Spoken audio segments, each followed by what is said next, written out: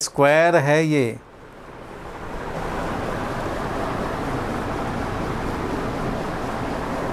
अगर ये बिल्कुल इसी के लाइन पे हो डायगोनली जा रहा हो ऐसे और ये भी इस तरह से बिल्कुल लाइन पे ही हो, इसी के लाइन पे है पॉइंट आए, तब तो बिल्कुल ज़ीरो हो जाएगा। इसके हम लोग फोर पार्ट बनाएँगे। One number two number three number और इधर फोर नंबर तो मैग्नेटिक फ़ील्ड सेंटर पे निकालो भाई। Find magnetic field at the centre जो कि होगा फ़र्स्ट पार्ट का मैग्नेटिक फ़ील्ड सेकंड पार्ट का मैग्नेटिक फ़ील्ड थर्ड पार्ट का magnetic field and fourth part का मैग्नेटिक फ़ील्ड निकाल लें। निकाल लो भाई जल्दी से।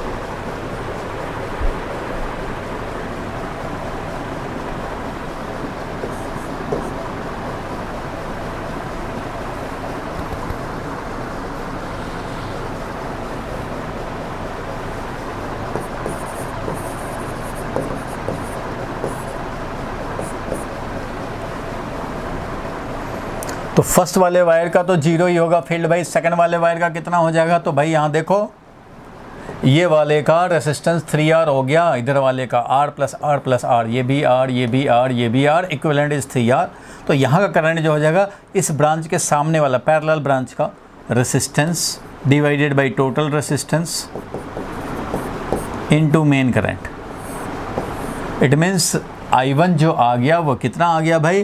तो I1 आ गया, I बाई फोर क्योंकि आर इधर फोर फोर आर उस तरह से यहाँ का जो करंट I2 हो जाएगा भाई, वो I2 कितना हो जाएगा? तो इसके सामने वाला resistance three R divided by total resistance ये हो गया इनटू मेन करंट I हो गया इट मीन्स कितना मिल गया भाई? तो three by four I so I two is equal to three by four I अब देखो बी वन निकल गया बी टू निकालें अगर, इधर वाले में निकालें, ये वाला अगर निकालते हैं तो ये मिल जाएगा हमें। अब देखो, इसमें क्या करने होंगे तुम्हें? ए आई है, ध्यान देना, ये आई है आई वन तो इसका यहाँ पे फ़ील्ड निकालोगे सेंटर पे। निकाल के दिखा देता हूँ भाई, क्योंकि यह आर्क नहीं है जो डायरेक्ट एक ही बार में मिल जाए, तुम्हें हर का अलग अलग निकालने पड़ेंगे। मैं एक का निकाल के दिखाता हूँ, ये एक का। एक का दिखा रहा हूँ, वैसे ही आप बाकी का भी कर देंगे। कैसे देखो? ये वाले वायर येलो वाले वायर का निकालना चाहते हैं।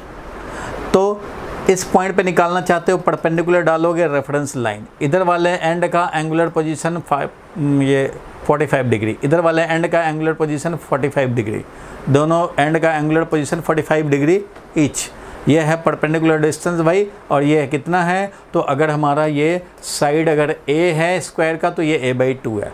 इसलिए अगर हम लोग निकालना चाहें, इसका मैग्नेटिक फ़ील्ड मान लो मैग्नेटिक फ़ील्ड बी नॉट है अगर एक वायर का, इस वायर का येलो वाले वायर का तो ये हो जाएगा तुम्हारा mu naught upon four pi ध्यान देना। और आई आई वन है upon perpendicular distance as A है तो ए बाई टू है। ये वाला परपेंडिकुलर डिस्टेंस तो ए बाई टू ही है भाई। Into sine 45 degree plus sine 45 degree ऐसे लिखने पड़ेंगे भाई। तो mu naught upon four pi I one का वैल्यू लिखेंगे। आई वन का वैल्यू लिखेंगे तो ये आई वन का वैल्यू है आई बाई फोर तो यहाँ लिखूँगा मैं आई बाई फोर ठीक है भाई। और ये ए बाई टू है तो ए और इधर टू कर देते हैं भाई ऐसे। ए बाई टू भी हो गया आई बाई फोर और ए बाई टू हो गया। मीन्स टू बाई ए हो गया ऐसे करके। और sine forty five sine forty five one by root two plus one by root two two by root two ऐसे हो गया। इसलिए ये फोर से फोर कैंसिल हो जाएगा और मिल जाएगा हमें mu naught upon four pi और ये देखो भाई ऊपर का फोर और ये फोर कैंसिल हो जाएगा। I upon root two A I upon root two A four four cancel हो गया। ये मिल गया भाई। और किस डायरेक्शन में मिला भाई? तो ये है वायर इसलिए इसको पकड़ेंगे तो क्रॉस में है फ़ील्ड ठीक है? बी नॉट मिल गया। येलो वाला वायर जो लेफ़्ट में है लेफ़्ट वाला स्ट्रेट वायर इसका हमें मिल गया फ़ील्ड। ठीक है भाई। इसमें कोई कन्फ्यूज़न है किसी को तो बता दे भाई। सिर्फ़ येलो वाला वायर इसका फ़ील्ड। ये है। बोलो क्लियर है? अरे बोलो भाई। क्लियर है या डाउट है इसमें? क्लियर है। रिया क्लियर है? आदित्य क्लियर है? चलो। बोल दिया कर भाई, जा, जैसे ही मौका मिलता है, बोला करो। बोलते नहीं हो, ना पेन बोलता है तुम्हारा। चलो, देखो। तो अब अगर मैं इस ऊपर वाले का निकालूं डैट इज़ ये अगर मैं, मान लो ऊपर वाले, इस पिंक वाले के लिए निकालूं, इसके लिए निकालूं तो क्या ये सारे कैलकुलेशन वही रह जाएँगे कि नहीं? इसका अगर निकालेंगे तो सारा का सारा वही रहेगा कि नहीं? ये भी वही आई वन है। इसका भी परपेंडिकुलर डिस्टेंस यही होगा ए बाई टू और ये भी 45 डिग्री 45 डिग्री करेगा। सब कुछ वही रहेगा और ये है करंट का डायरेक्शन तो ये है क्रॉस में ही फ़ील्ड का डायरेक्शन उतना ही होगा।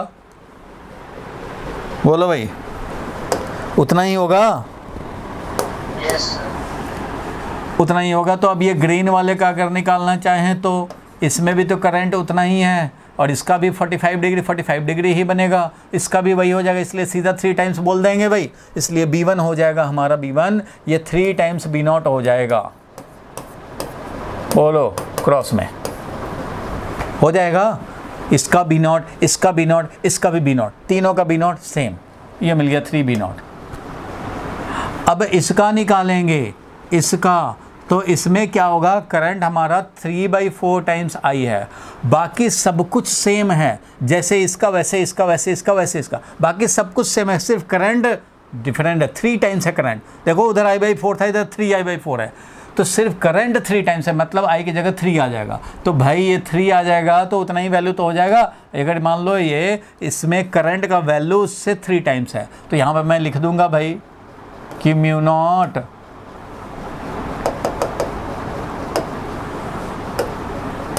mu naught upon four pi और यहाँ पे लिख दूँगा थ्री ये आई जो है, यहाँ पे थ्री टाइम्स ये हो जाएगा। ये आई वन जो है, वो थ्री टाइम्स आई वन हो जाएगा। इसका मतलब वैल्यू चाहो तो रख भी सकते हैं। थ्री आई बाई फोर चलो मैं लिख ही देता हूँ। Three I by four value लिख दिया। थ्री आई बाई फोर तो करंट का वैल्यू लिखा थ्री आई बाई फोर सारे के सारे ये ए वैल्यू हैं। ठीक है। डिवाइडेड बाई परपेंडिकुलर डिस्टेंस वैसे ही लिखोगे भाई A by two perpendicular distance और साइन 45 प्लस साइन 45 यानी कि टू बाई रूट टू बोलो, ठीक है? और ये किस डायरेक्शन में आएगा? तो भाई ये है करंट का डायरेक्शन ये है करंट का डायरेक्शन वाइट वाला. तो इसके थम है इधर तो इधर है डॉट में. तो इतना डॉट में आएगा फ़ील्ड भाई. ये हो गया इसका. और ये वाला आ गया बी फोर तो बी फोर तो भाई ज़ीरो है. बी फोर तो ज़ीरो है बी वन भी ज़ीरो है। और अब देखो ये क्या मिल गया। ये मिल गया थ्री टाइम्स बी नॉट तो मैं लिख देता हूँ three times B naught B naught का वैल्यू था mu naught I divided by four pi root two A इतना है क्रॉस में। ठीक है भाई। और इसकी बात लिखें तो ये वाला कितना हो गया भाई? तो mu naught upon four pi I divided by अब देखो इसमें क्या क्या कैंसिल होगा। ये जा कर के टू जो है वो ऊपर जाकर मल्टीप्लाई हो जाएगा। इट मीन्स ये वाला जो टू है, ये टू और ये टू मिला करके इससे कैंसिल हो जाएगा। और बच जाएगा क्या भाई? तो three I by root two A ये जो मिल जाएगा three I by root two A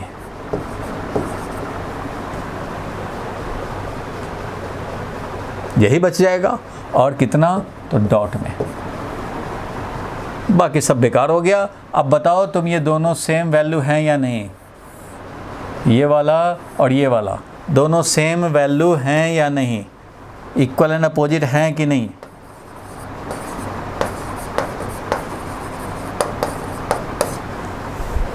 बोलो भाई ये इक्वल एंड अपोजिट हैं? Yes, yes, और दोनों सेंटर हुआ क्या? सब कुछ में एंग वही 45 45 45 45 45 45 लेकिन ये तीन बार लिए। लेकिन आई बाई फोर वाला ही तीन बार आया तो थ्री टाइम्स हो गया। लेकिन ये अकेले एक ही बार आया, लेकिन इसमें करंट ही थ्री टाइम्स है। उधर वाले करंट से इधर थ्री टाइम्स है। तो इसलिए इफ़ेक्ट उतना ही रह गया। देखो, इसका भी वैल्यू हमने निकाला अलग से, और उसका भी वैल्यू निकाल लिया है।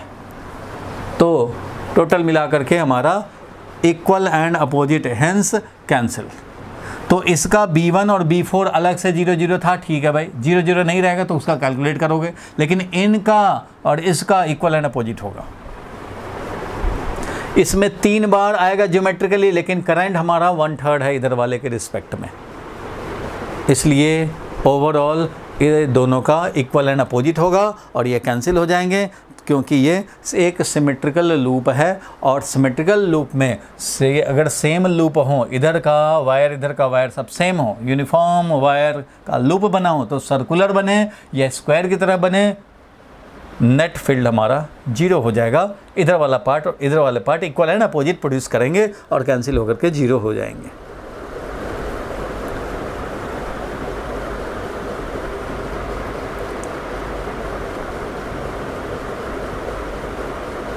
बोलो क्लियर है यहाँ तक? यस सर चलो ठीक है भाई तो इसको मैं हटा रहा हूँ। हम लोग जाते जाते एक देखे थे।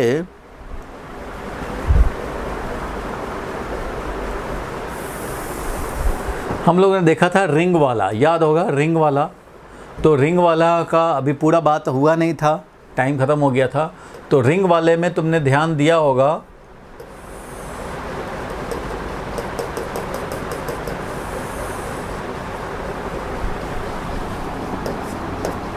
इधर क्रॉस में था, इधर डॉट में था। डायग्राम बना था, याद होगा।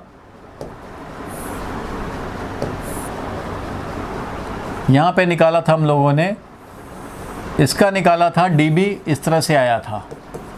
याद है? बोलो भाई। बोलता ही नहीं है। आदित्य?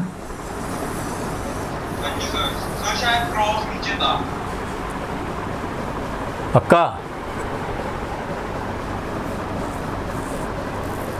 अच्छा ठीक है। हाँ क्रॉस नीचे था। ठीक है। क्रॉस नीचे था, डॉट ऊपर था। ठीक है। डॉट इधर हमारा क्रॉस ऐसे था। डॉट मतलब ऐसे, इसका हमारा करंट एलिमेंट हमारा इस तरह से आइडियल और इधर R vector I DL cross R करेंगे तो इस प्लेन के परपेंडिकुलर ऐसे मिला डी और इधर वाले के लिए अगर हम लोग देखते हैं तो इधर वाले के लिए क्रॉस में भाई तो क्रॉस में है इस तरह से। ये है डीएल और ये वाला है आर वेक्टर तो इधर डी एल क्रॉस आर जब करेंगे डी एल क्रॉस आर जब करेंगे तो हमारा इस डायरेक्शन में मिलेगा मीन्स ऐसे मिलेगा। ये भी आपस में ऐसे परपेंडिकुलर होंगे, ये मिलेगा डी बी तो इस तरह से ये डी बी डी बी मिले, हमारा ये पॉइंट पी है, यहाँ पे निकालने। बोलो भाई, ये यहाँ तक तो क्लियर था।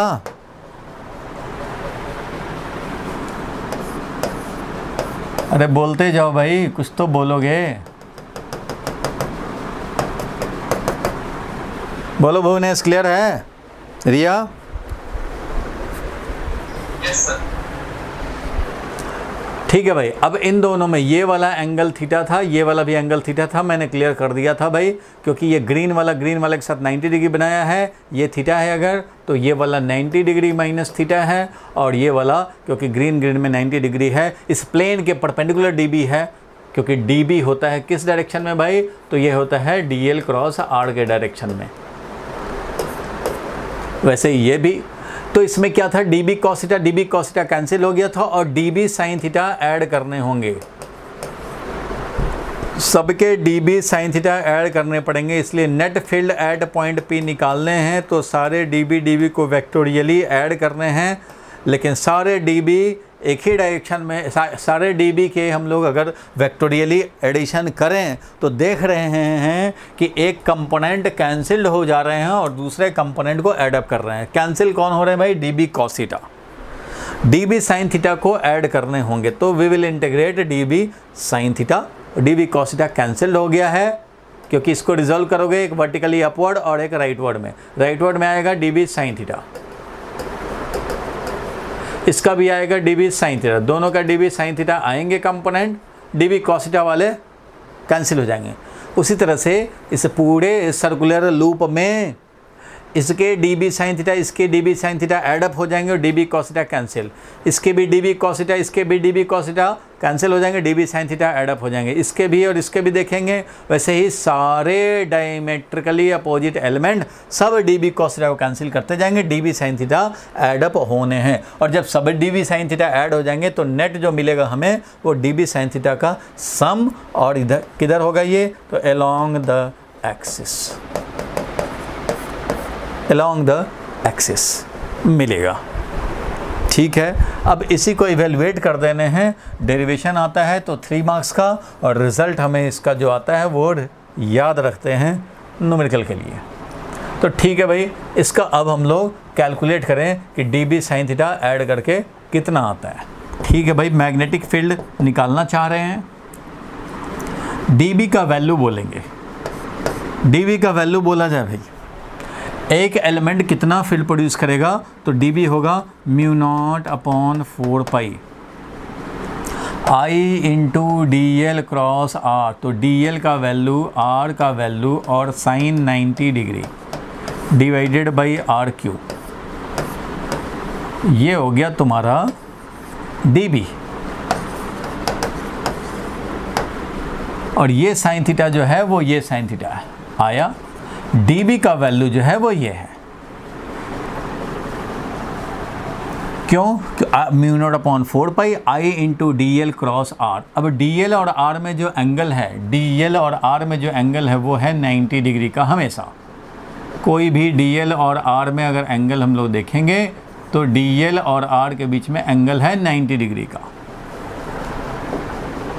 क्योंकि रिंग ऐसे है ऐसे ऐसे डी एल होगा और आर हमारा इसके परपेंडिकुलर ऐसे।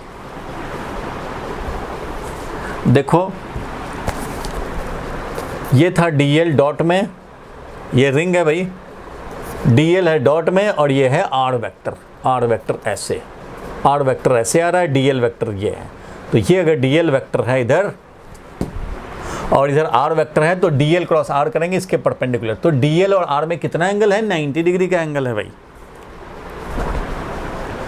तो बस 90 डिग्री रख देंगे। ये और साइन थीटा है ही इंटीग्रेट कर रहे हैं भाई तो इंटीग्रेट किया जाएगा। जो कांस्टेंट वैल्यू है, बाहर भी निकाल सकते हैं। बाहर निकाल लेंगे। तो mu naught upon four pi बाहर निकल जाएँगे। आई भाई सारे एलिमेंट के लिए सेम हैं, बाहर निकल जाएँगे। D L D L D L सबके लिए रहेंगे और आर स्क्वायर क्योंकि एक आर से एक आर स्क्वायर में से आर क्यू में से एक आर कैंसिल हो गया। और ये साइन थीटा साइन थीटा का वैल्यू तुम्हें रखना पड़ेगा। ये हो गया आई डी एल आर से आर क्यू कैंसिल हो गया, ये मिला और तुम्हें इंटीग्रेट करने हैं। सबके लिए साइन थीटा आएगा, यहाँ खाली इंटीग्रेशन हो जाएगा। मतलब साइन थीटा को भी हम लोग बाहर कर देते हैं, ऐसे समझे। आर स्क्वायर साइन थीटा भी बाहर, सिर्फ़ D L D L D L D L रह जाएँगे। हर बार के लिए D L D L value D L value D L value D L value सबके डी एल वैल्यू आते रहेंगे। साइन थीटा सबके लिए वही आएगा। आई का वैल्यू वही है आर का वैल्यू वही है। सबके लिए तो वही आ रहा है भाई, सबके लिए सेम आ रहा है। साइन थीटा का वैल्यू भी सारे एलिमेंट के लिए सेम है। तो जो कांस्टेंट थे, बाहर निकाल दिए। और D L D L D L D L integrate कर देने हैं। बोलो, यहाँ तक क्लियर हुआ? यस सर अब D L D L add करेंगे तो क्या मिलेगा भाई? डीएल मतलब डीएल का वैल्यू डीएल का वैल्यू पूरे रिंग पे DL value D L value D L value D L value add करते जाएँ ऐड करते जाएँ डी एल तो सरकमफ्रेंस मिला। ये वाला लेंथ ये वाला लेंथ डी एल ये लेंथ डी एल ये लेंथ डी एल ये लेंथ सबको सम करते जा रहे हैं। तो क्या मिलेगा? सरकमफ्रेंस मीन्स कितना? Two pi R if R is capital R is the radius capital R radius है, इस आर को हमने स्मॉल आर बोला है तो ये स्मॉल आर जो है वो एक्स डिस्टेंस पे अगर ये पॉइंट था तो ये आर है स्मॉल आर वो है capital R square plus X square. यहाँ पे स्मॉल आर जो है सबके लिए वो है capital R square plus X square. और D L D L add करेंगे तो टू पाई आर मिलेगा। ठीक है भैया तो यहाँ पे हम लोग अब काम कर सकते हैं। क्या? तो mu naught I upon four pi R square R square का मतलब है capital R square plus X square बिल्कुल ठीक बात है। और आई अपॉन ये हो गया और साइन थीटा का वैल्यू तो साइन थीटा का वैल्यू डाल लेंगे चलो अलग से बाद में। और ये D L D L D L D L कर रहे हैं तो ये मिल रहा है हमें टू पाई आर ये इतना मिला magnetic field at point P का वैल्यू। अभी वैल्यू की ही बात कर रहे हैं हम लोग। ये वैल्यू की ही बात कर रहे हैं क्योंकि वेक्टर लिखोगे तो इधर डायरेक्शन भी लिखने पड़ेंगे। डायरेक्शन बाद में लिखेंगे भाई। अभी सिर्फ़ वैल्यू वैल्यू। तो इतना आया। चलो, इसको अब हम लोग और अगर लिखना चाहें तो क्या लिख सकते हैं भाई? और आगे बढ़ाते हैं। तो इसको लिखूँगा मैं magnetic field at point P का जो वैल्यू आया, वो फाइनली आ गया। Mu naught I upon four pi R square plus X square sine theta का वैल्यू साइन थीटा का वैल्यू होगा ये वाला आर डिवाइडेड बाई ये वाला small R R divided by small R small R बोले तो under root R square plus X square ये साइन थीटा का वैल्यू डाला भाई। और ये टू पाई आर तो है ही। देख लो भाई। फिर से देख लो। Mu naught I by four pi. ये small R square sine theta का वैल्यू ये लिखा और two pi R D L D L integrate किए तो टू पाई आर आया। ठीक है भाई। तो फाइनली हमें मिल गया B P is equal to mu naught I ऊपर आ गया टू पाई आर स्क्वायर और डिनोमिनेटर में आ गया फोर पाई और R square plus X square का पावर थ्री बाई टू ये मिल गया और ये किधर मिला भाई? तो अलोंग द एक्सिस ये मैग्नेटिक फ़ील्ड मिल गया। रिज़ल्ट के फॉर्म में लोग इसको याद रखते हैं। Two pi R square nominator में, इधर R square plus X square power three by two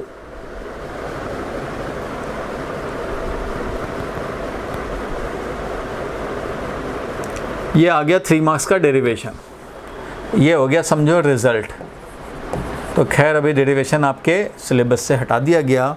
syllabus क्या मतलब? क्वेश्चन के पैटर्न से हटा दिया गया है। जानना तो है ही। तो ये इतना आया अलोंग द एक्सिस लेकिन अलोंग द एक्सिस बाहर की तरफ़ या अपनी तरफ़? तो वो डिपेंड करेगा कि करंट का डायरेक्शन कैसे है। ध्यान से समझ लेना भाई। इस करंट का डायरेक्शन किधर है, उसके हिसाब से यहाँ डिसाइड होगा कि बाहर की तरफ़ कि अंदर की तरफ़। तो इतना वैल्यू का फ़ील्ड होने हैं, सब लोग ध्यान देंगे, इतने वैल्यू का फ़ील्ड होने हैं भाई एक्स डिस्टेंस पे। और किधर होगा तो इसके लिए शॉर्टकट मैंने बताया था। थंब अगर करंट डायरेक्शन है थंब अगर करंट डायरेक्शन है तो मैग्नेटिक फ़ील्ड इस तरह से। कर्ल फिंगर बताएगा डायरेक्शन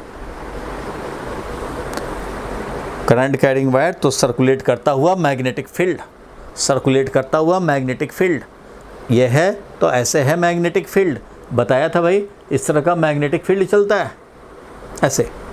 और ये भी बताया था कि अगर ये करंट है, जो कर्ल फिंगर हमारा करंट बता रहा तो यह है सेंटर पर का मैग्नेटिक फ़ील्ड करंट का डायरेक्शन अगर कर्ल फिंगर से इंडिकेट करें तो यह सेंटर पर का मैग्नेटिक फ़ील्ड यही चीज़ अभी यूज़ करेंगे, देखो। अगर ये है ऐसे। तो कर्ल फिंगर से बताओ, ये करंट दिखाओ तो ये सेंटर पर मैग्नेटिक फ़ील्ड बता देगा। करंट में हमारा ऐसे चल रहा है भाई। डार्क लाइन मतलब पास वाले में तुम्हारा ऐसे चल रहा हो, पास वाले में ऐसे चल रहा हो तो दूर वाले में ये ऐसे जाएगा। इसलिए वहाँ पे अगर देखें हम लोग, वहाँ वाले पे देखें, इस वाले में तो डॉट है, इधर क्रॉस है, डॉट है ऊपर, क्रॉस है मीन्स करंट ऐसे चल रहा है। तो भाई ऐसे चल रहा हो तो ये कर्ड फिंगर दिखाओ और इससे हमें थंब बताएगा magnetic field at the centre and axis. भाई सेंटर पे इधर होगा तो एक्सिस पे भी इधर ही होगा।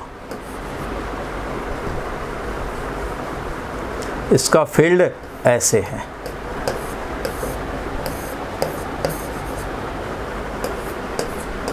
यहाँ पे फ़ील्ड ऐसे है। ये करंट कैरिंग वायर तो ये है मैग्नेटिक फ़ील्ड और अगर हम लोग एग्जैक्ट फ़ील्ड की बात करें और जगह की भी तो यहाँ पे ऐसे फ़ील्ड है। यहाँ ऐसे फ़ील्ड है। यहाँ ऐसे फ़ील्ड है।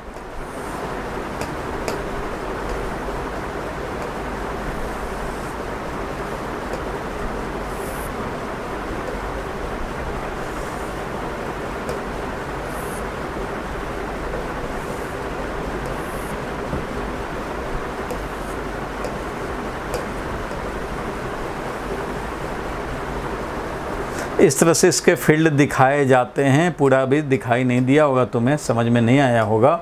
अभी मैं बताऊँगा थोड़ी देर में। इसके ऐसे फ़ील्ड होते हैं भाई। ये है करेंट कैरिंग लूप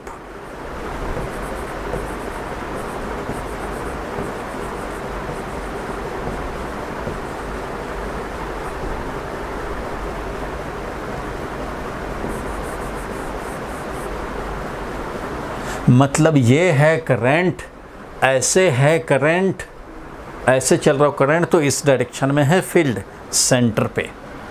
सेंटर पे तो भाई इसी डायरेक्शन में होगा फ़ील्ड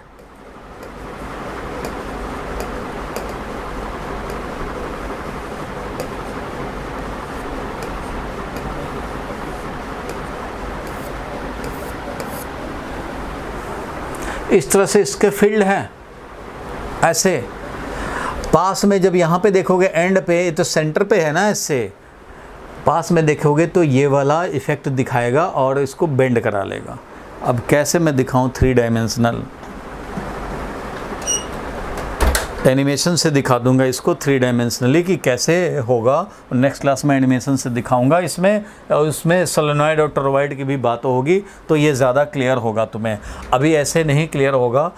अभी ये समझो बस कि सेंटर पे फ़ील्ड किस डायरेक्शन में होगा?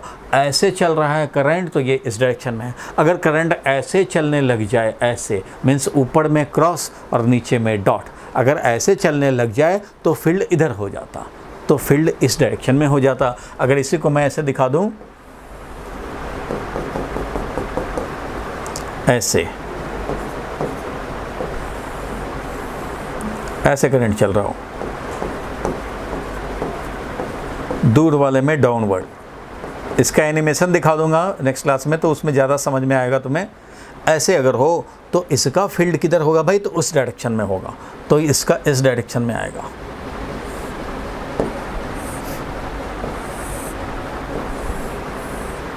और इसका फ़ील्ड हमारा ये ऐसे चलेगा। इसका फ़ील्ड भी इस तरह से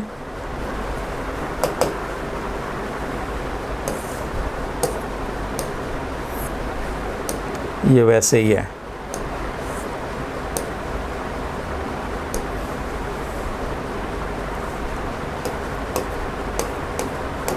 ऐसा चलेगा।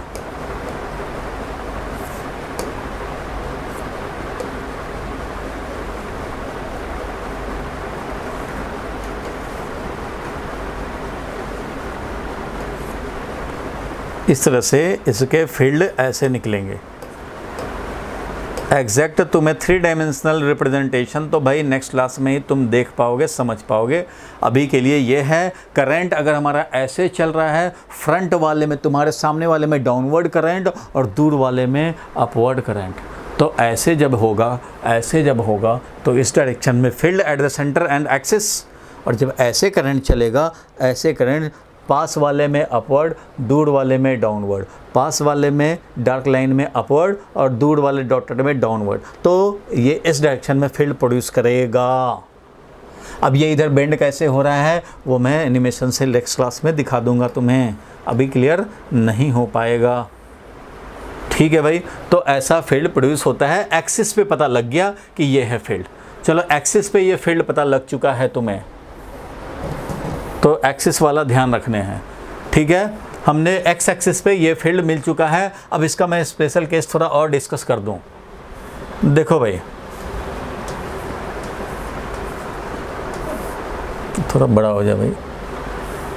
इसका स्पेशल केस ये कि अगर हम लोग इसके बेसिस पे सेंटर पे पहुँचना चाहें सेंटर पे फ़ील्ड निकालना चाहें तो तुम बताओ भाई, तुम्हें तो वैसे भी पता है सेंटर पे कितना फ़ील्ड कोई भी करंट कैरिंग लूप अपने सेंटर पे कितना फ़ील्ड प्रोड्यूस करता है? कोई भी करंट कैरिंग लूप अपने सेंटर पे कितना फ़ील्ड प्रोड्यूस करता है भाई, बताओ।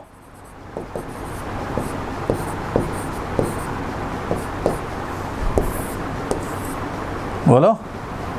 और सेंटर पे कितना करता है? बायोट से मतलब पढ़ाई तो है। Mu naught upon four pi I divided by radius और एंगल कितना? अरे भाई आर्क का ही तो स्पेशल केस है ये। आर्क का ही स्पेशल केस है। फुल सर्कल बताया था लास्ट क्लास में एंगल यूज़ होगा टू पाई इसलिए क्या मिल जाएगा भाई? तो mu naught I upon two R ये मिला हमें magnetic field at the centre of ring current carrying ring के सेंटर पे ये मिला। ये बात समझते हैं सारे लोग? Yes, समझते हैं तो बहुत अच्छी बात है भाई। जब इतना समझते हैं तो फिर अब इस वाला जो रिज़ल्ट है इस रिज़ल्ट के बेसिस पे अगर हम लोग जानना चाहें तो इस रिज़ल्ट के बेसिस पे अगर निकालना चाहते हैं, वैसे तो हम लोगों को पता है सेंटर पे कितना फ़ील्ड होता है बट ये रिज़ल्ट का अगर हम लोग यूज़ कर लेना चाहें तो बताओ। तो इस रिज़ल्ट से देखो, मैं दिखा रहा हूँ। मैग्नेटिक फ़ील्ड चाहिए सेंटर पे तो एक्सिस पे यहाँ थे एक्स डिस्टेंस पे एक्स का वैल्यू और कम करो एक्स का वैल्यू और कम करो एक्स का वैल्यू जब ज़ीरो कर लोगे, जब एक्स का वैल्यू ज़ीरो कर लोगे तो सेंटर पे पहुँच जाओगे। मीन्स सेंटर पे निकालने के लिए तुम्हें एक्स वैल्यू ज़ीरो करने पड़ेंगे। तो सेंटर पर का फ़ील्ड मिल जाएगा। ठीक है भाई? तो कैसे मिल जाएगा ज़रा देखा जाए। तो सेंटर पर का field mu naught upon four pi I into two pi R square I into two pi R square divided by X का वैल्यू ज़ीरो कर दें तो क्या हो जाएगा? आर का पावर थ्री बाई टू हो जाएगा। आर स्क्वायर का power three by two R square का पावर थ्री बाई टू का मतलब होता है आर स्क्वायर का पावर थ्री बाई टू का मतलब टू टू कैंसिल हो जाएगा आर क्यू हो जाएगा। इट मीन्स ये कितना हो जाएगा? तो mu naught upon four pi और I into two pi R square divided by R cube और आर क्यू होने का मतलब कितना हो गया? तो आर स्क्वायर से यहाँ आर क्यू को हम लोग कैंसिल करेंगे। और बच जाएगा कितना? और टू पाई से ये फोर पाई कैंसिल हो जाएगा। मिलेगा क्या? Mu naught I by two R देखो भाई mu naught I by two R वहाँ भी आता था mu naught I by two R bird से बर्ड लॉ से हम लोगों ने निकाला था। अभी mu naught I by two R at the centre of current carrying ring magnetic field ये भी रिज़ल्ट बता रहा है कि at the centre of current carrying ring mu naught I by two R आएगा सेंटर पे। बोलो भाई, ठीक है? इसका मतलब ये जो रिज़ल्ट है, वो बिल्कुल करेक्ट है। एक्स का किसी भी वैल्यू आप चाहते हो एक्सिस पे कहीं भी निकालना, आप इजीली निकाल सकते हैं इसको यूज़ करके। जितने भी डिस्टेंस पे निकालना चाहो। अब इसका एक स्पेशल केस तो तुमने देख लिया भाई एक्स को ज़ीरो रख करके एट द सेंटर अब एक्स का वैल्यू इनफाइनाइट रख करके भी जरा हम लोग इसका निकाल सकते हैं। अगर हम लोग एक्स का वैल्यू इनफाइनाइट रख दें X tending tending to infinite very large distance पे अरे भैया वेरी लार्ज डिस्टेंस पे चले जाओगे तो वैसे भी फ़ील्ड ज़ीरो ऑलमोस्ट हो जाना चाहिए।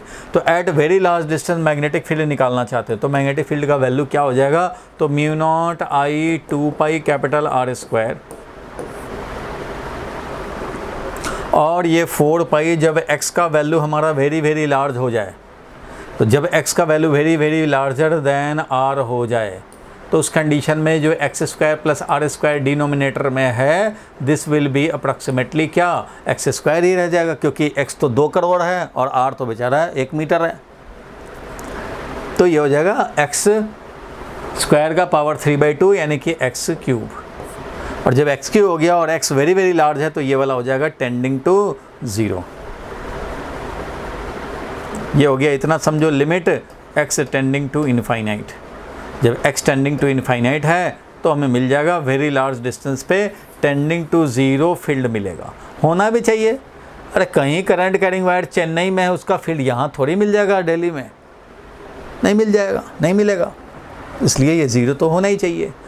अच्छा भाई तो इस तरह से हम लोगों ने देखा कि यहाँ पे फिक्स्ड वैल्यू है। अगर इसका हम लोग क्वेश्चन में आ जाता है, कई बार ग्राफ का ऑप्शन डिटेक्ट करने हैं कि मैग्नेटिक फ़ील्ड दिखा रहे हैं और इधर एक्स दिखा रहे हैं। एक्स इक्वल टू ज़ीरो मतलब सेंटर पे। एक्स का वैल्यू ज़ीरो का मतलब हो गया centre of the ring large distance पे चलते जा रहे हैं, बढ़ते जा रहे हैं, बढ़ते जा रहे हैं। यहाँ देख रहे हो, इस तरह से ये फ़ील्ड है। यहाँ जब सेंटर पे डाल रहे हैं तो हमें कुछ फ़ील्ड वैल्यू मिल रहा है। सेंटर पे हमें फ़ील्ड वैल्यू कितना मिल रहा है भाई? तो mu naught I by two R मिल रहा है। और जब वेरी लार्ज डिस्टेंस पे जा रहे हैं तो ज़ीरो मिल रहा है। इसका मतलब कि धीरे धीरे धीरे धीरे ये डिक्रीज ज़रूर हुआ होगा। तभी ये वेरी लार्ज डिस्टेंस पे जाकर के टेंडिंग टू ज़ीरो हो जा रहा है। तो इस तरह से इसका मैग्नेटिक फ़ील्ड हम लोग समझेंगे। इस तरह से ऐसा करो, दिखा सकते हैं हम लोग। मैग्नेटिक फ़ील्ड का variation as a function of X ring से जितना अवे जाते जाएँगे, उतना हमारा कम होता जाएगा।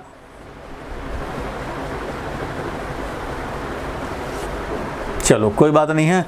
ये आप याद रखना रिज़ल्ट ये रिज़ल्ट वेरी वेरी इंपॉर्टेंट है। अब इस पर देखो क्वेश्चन और कैसे आता है, ये भी मैं बता दूँ। तब फिर मैं, क्योंकि बायोट से आउटलॉक के एप्लीकेशन पे ही हम लोग ऑलमोस्ट दो घंटे दो क्लास लगा दिए। इस पर और ऐसा क्वेश्चन आता है, देखो। फिर मैं तुम्हें दिखाऊँ इसका। चलो, इसको रिज़ल्ट को भी यहाँ रखते हैं। देखो, कई बार ऐसे आता है बोर्ड में बहुत बार आया है कि एक रिंग यहाँ दिखा दिया और एक रिंग यहाँ दिखा दिया। चलो भैया, इसका रेडियस है, मान लो आर इसका भी रेडियस कर दिया आर और इसका डिस्टेंस मान लो है इधर से, कुछ ले लें हम लोग। थ्री आर ले लें तो इधर से भी डिस्टेंस थ्री आर ले लिया। पूछता है यहाँ का मैग्नेटिक फ़ील्ड कितना? पी पॉइंट पे मैग्नेटिक फ़ील्ड कितना? तो भाई कैसे निकालेंगे? और दोनों में करंट का वैल्यू सेम भी ले सकता है डिफरेंट भी ले सकता है रेडियस भी अलग अलग हो सकता है, ये डिस्टेंस भी अलग अलग हो सकता है। करना क्या? कुछ नहीं करना है भाई। इसका करंट यूज़ करके इसके एक्सिस पे थ्री आर डिस्टेंस पे। एक्स का वैल्यू यहाँ पे हो गया थ्री आर यहाँ मैग्नेटिक फ़ील्ड निकाल लेंगे, वो होगा इस डायरेक्शन में, चाहे इस डायरेक्शन में। मतलब अलॉन्ग एक्स एक्सिस होगा, चाहे इधर हो जाए, चाहे इधर हो जाए भाई। जो भी होगा अलॉन्ग एक्स एक्सिस होगा। इसका मैग्नेटिक फ़ील्ड कितना होगा तो मैग्नेटिक फ़ील्ड निकाल सकते हैं। कितना भाई? तो mu nought upon four pi. और इसका करंट है, मान लो आई वन। तो ठीक है भैया आई वन। और कितना? तो two pi r one square divided by r one square plus x square तो एक्स हमारा थ्री आ रहा है। पावर थ्री बाई टू जो वैल्यू दिया रहेगा एक्स का जो भी वैल्यू दे दिया है आर वन था अगर रेडियस तो आर वन रेडियस अगर आर रेडियस है तो आर रेडियस ही डाल देंगे। मतलब आपको समझ में आना चाहिए। अब मैं सेम रेडियस लेकर के निकाल दूँ तो वो तो स्पेशल केस हो गया। यहाँ आर वन भी हो सकता है, इधर आर टू भी हो सकता है। तो चलो भाई आर वन है, यहाँ पे एक्स का वैल्यू हमारा थ्री आर है, इधर एक्स का value four or five or कुछ भी हो सकता है। मतलब यही है कि इसके लिए एक्स का जो वैल्यू है रेडियस का जो वैल्यू है, रख करके निकाल लो भैया। करंट हमारा अगर ऐसे चल रहा हो तो ये डायरेक्शन और ऐसे चल रहा हो तो ये डायरेक्शन जो भी होगा एक्स एक्सिस पे होगा। इसका क्या होगा भाई? तो इसका जो भी होगा वाई एक्सिस पे होगा। अपवर्ड हो जाए, चाहे डाउनवर्ड हो जाए, जो भी होगा वाई एक्सिस पे होगा। और वो कितना हो जाएगा भाई? तो वैसे ही निकालेंगे। Mu nought upon four pi result पता है तुम्हें। आई का वैल्यू अगर सेम है तो आई आई दोनों में हो जाएगा, नहीं तो यहाँ आई वन है तो इधर आई टू है। कोई बात नहीं आई टू का वैल्यू रख दोगे। टू एम्पेयर दिया है थ्री एम्पेयर दिया है, जो भी दिया है। Into two pi r two square two pi r two का स्क्वायर डिवाइडेड भाई, यहाँ पे आ जाएगा कितना भाई? तो r two square plus x square अब एक्स का जो भी वैल्यू है, वो रखने पड़ेंगे भैया। एक्स मतलब सेपरेशन मतलब ये मत समझ लेना एक्स कॉर्डिनेट सेपरेशन तो ये सेपरेशन का स्क्वायर एक्सिस पे कितने डिस्टेंस फ्रॉम द सेंटर ये वैल्यू रख देंगे। अगर ये एक्स का वैल्यू हमारा थ्री आर दिया है तो ये थ्री आर यहाँ पुट कर देंगे, क्योंकि ये वाला सेपरेशन थ्री आर दिया है, वो यूज़ कर लेंगे। ऐसे हमें दो मिल जाएँगे फ़ील्ड एक वाई डायरेक्शन में ये वाला हो, चाहे ये वाला हो। अब दोनों में से कोई भी, इसका इन दोनों में से कोई हो, इसका इन दोनों में से कोई हो, आपस में तो भाई परपेंडिकुलर ही होने हैं। इसलिए net field at point p क्या हो जाएगा भाई? तो अंडर रूट बी एक्स का स्क्वायर प्लस बी वाई का स्क्वायर ये जो वैल्यू आ जाएगा, वो तुम्हारा आंसर हो जाएगा। थ्री मार्क्स का क्वेश्चन बहुत बार बोर्ड में पूछा गया है।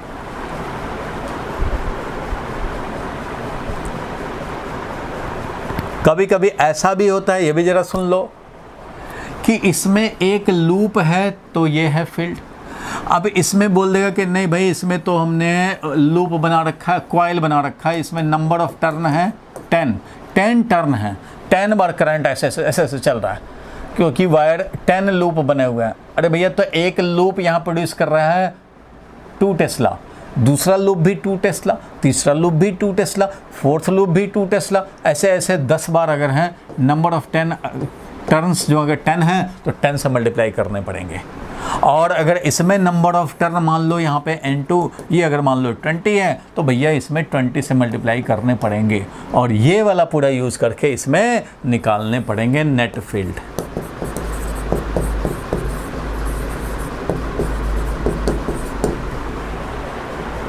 बोलो भाई क्लियर हुआ? Yes, sir. तो ऐसा कई बार पूछता है, इसमें नंबर ऑफ़ टर्न बढ़ा देते हैं लोग। एक लूप होगा तो एक का ध्यान रखना।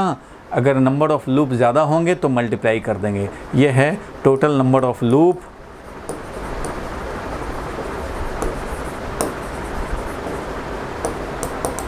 in the current carrying coil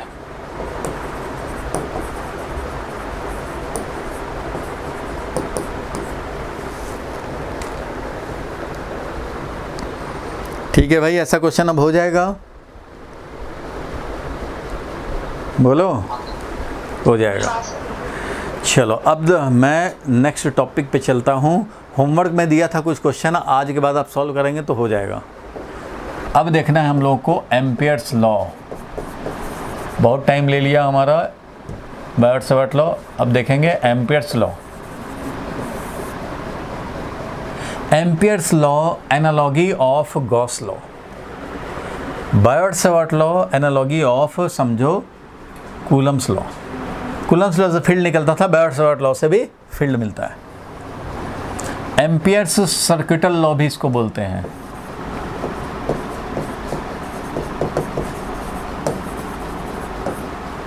ampere circuital law इनका क्या कहना था भाई? कि कोई एक क्लोज लूप लो। D l d l d l d l d l d l d l d l करते जाएँ डी एल डी एल करते जाएँ क्लोज लूप लें। और मैग्नेटिक फ़ील्ड है भाई। कोई मैग्नेटिक फ़ील्ड है? ये मैग्नेटिक फ़ील्ड ये मैग्नेटिक फ़ील्ड ये मैग्नेटिक फ़ील्ड ये मैग्नेटिक फ़ील्ड ये मैग्नेटिक फ़ील्ड ऐसे। है कहीं कहीं मैग्नेटिक फ़ील्ड में अगर एक क्लोज लूप लें डी एल लेंथ और निकालें यहाँ पे जो मैग्नेटिक फ़ील्ड प्रेजेंट है बी डॉट डी एल यहाँ जो मैग्नेटिक फ़ील्ड प्रेजेंट है, उसका बी डॉट डी एल फिर B dot d l B dot d l ऐसे निकालते जाएँ, सबको ऐड करते जाएँ। B dot d l B dot d l यहाँ का बी डॉट यहाँ का डी एल यहाँ का बी यहाँ का डी एल यहाँ का बी यहाँ का डी एल इस तरह से B dot d l B dot d l हर जगह पे करते जाएँ क्लोज लूप बनाएँ। तो ये आएगा mu nought into current enclose by the closed loop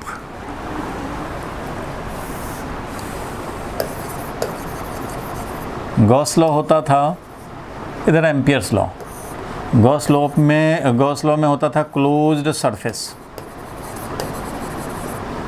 मतलब E dot d s E dot d s ऐसे करते थे। यहाँ पे होगा B dot d l B dot d l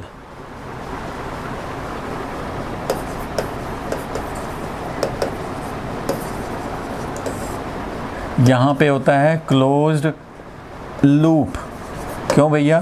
क्योंकि डी एल डी एल कर रहे हैं। क्योंकि डी एल डी एल से क्लोज कर रहे हैं। यहाँ पे d s d s area area से क्लोज करते थे, इसलिए। यहाँ इलेक्ट्रिक फ़ील्ड है तो यहाँ पे मैग्नेटिक फ़ील्ड है। क्लोज्ड लूप बनेगा। डी एल डी एल से क्लोज करेंगे तो क्लोज लूप बनेगा। डी एस डी एस से क्लोज करेंगे भाई तो क्लोज्ड एरिया बनेगा। क्लोज्ड सरफेस एरिया बनेगा। जिससे कि वॉल्यूम इनक्लोज होगा। एरिया एरिया से बाउंड करें तो एक वॉल्यूम इनक्लोज होगा। और लेंथ लेंथ से बाउंड करें तो एक एरिया इनक्लोज होगा। तो डी एल डी एल मतलब एक क्लोज लूप बनेगा। तो ये लूप बना।